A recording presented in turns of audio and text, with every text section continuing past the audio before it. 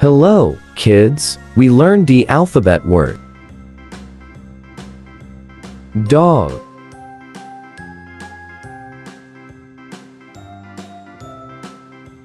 Duck.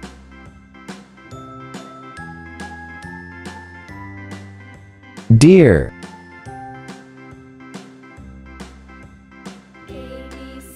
Drumstick.